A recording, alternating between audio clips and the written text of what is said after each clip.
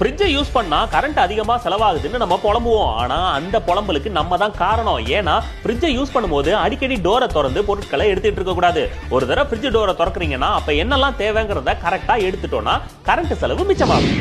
வீட்டில் இருக்கிற மனுஷங்களை தவிர மற்ற எல்லாத்தையும் ஃப்ரிட்ஜுக்குள்ள வைக்கிற பழக்கம் நமக்கு இருக்கு. குறிப்பா சில பேர் வந்து அலுமினிய பாத்திரத்துல சமைச்சிட்டு அதை தூக்கி ஃப்ரிட்ஜுக்குள்ள வைக்கிற பழக்கமும் வச்சிருக்காங்க. அந்த மாதிரி பண்ணக்கூடாது. அதனால உணவும் கெட்டு போயிடும் ஃப்ரிட்ஜும் கெட்டு போக வாய்ப்பு இருக்கு.